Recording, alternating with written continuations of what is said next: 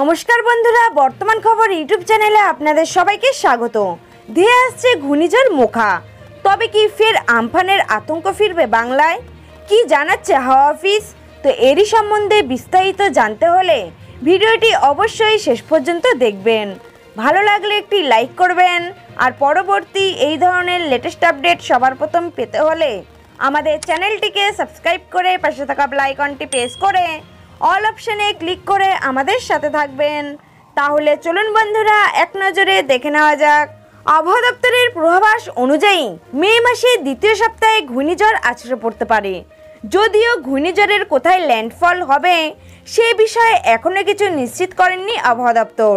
ঘূর্ণিঝড়ের প্রভাবে বঙ্গে ভারী বৃষ্টি হওয়ার আশঙ্কা রয়েছে। হাওয়া অফিস জানিয়েছেন, শুক্রবার দক্ষিণবঙ্গের সব জেলাতেই বৃষ্টিপাতের সম্ভাবনা রয়েছে।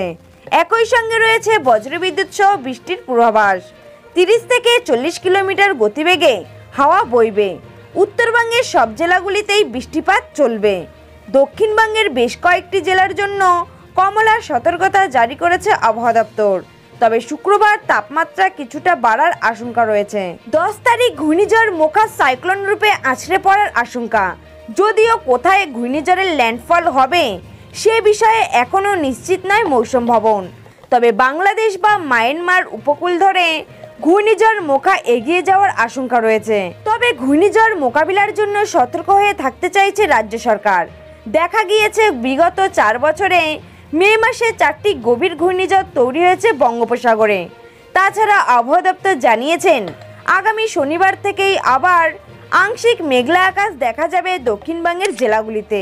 হালকা বৃষ্টিপাত হতে পারে সব জায়গায়। তো এই ছিল আজকের আবহাওয়া দপ্তর থেকে পাওয়া লেটেস্ট আপডেট ধন্যবাদ।